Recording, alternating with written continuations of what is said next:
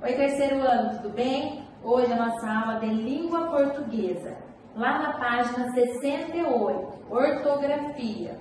Vamos falar da consoante J.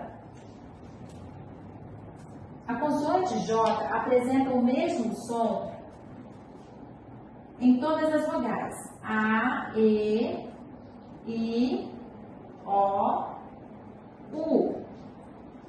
Já, Gé, Gi, Jó, Ju.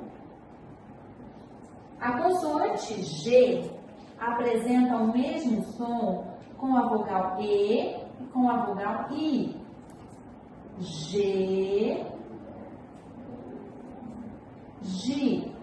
A consoante G não apresenta o mesmo som com as vogais A, O, U. A consoante G muda o som.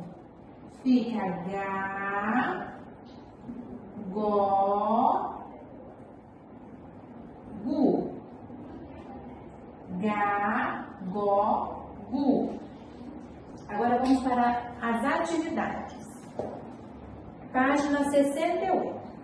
Leia em voz alta as palavras abaixo: jacaré, jegue, jipe, joelho, jujuba, jaca, sujeira, canjica, jogo, juiz.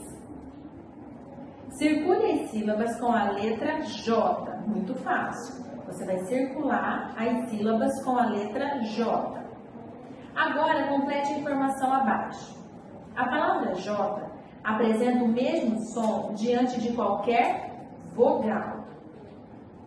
Escreva palavras que começam com J de acordo com o que se pede. Três meses do ano. Três meses do ano que comecem com J. Vamos lá, um exemplo. Janeiro. Janeiro. Eu vou dar um exemplo e você vai pensar em mais duas palavras. Janeiro. Três nomes de animais. Um exemplo. Eu vou dar um exemplo. Javali. Javali. Você vai escrever e vai pensar em mais duas palavras para escrever. Três nomes de pessoas. Vou falar um exemplo.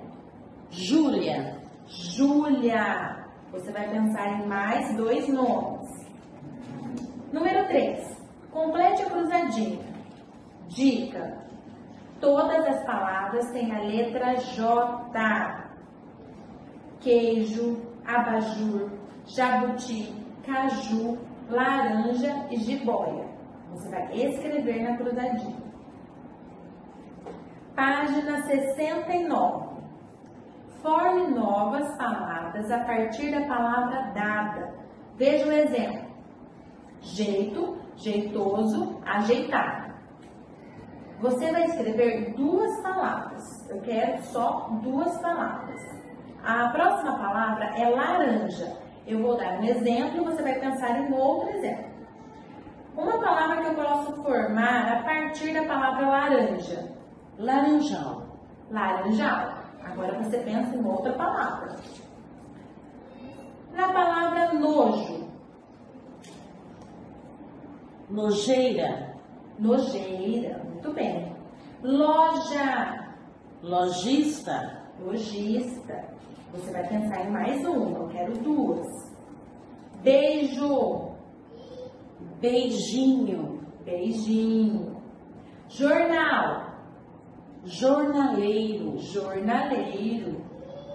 Jardim. Jardineiro. Jardineiro. Jogo. Jogador. Jogador. Sujo.